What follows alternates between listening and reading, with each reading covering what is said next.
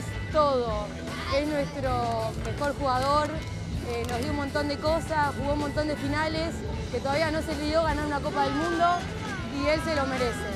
Eh, así que queremos todo, queremos que él sea feliz, porque si él es feliz, nosotros somos felices y queremos que él levante la copa y que sienta el peso de la copa. Así que nada, lo amamos y queremos lo mejor para él.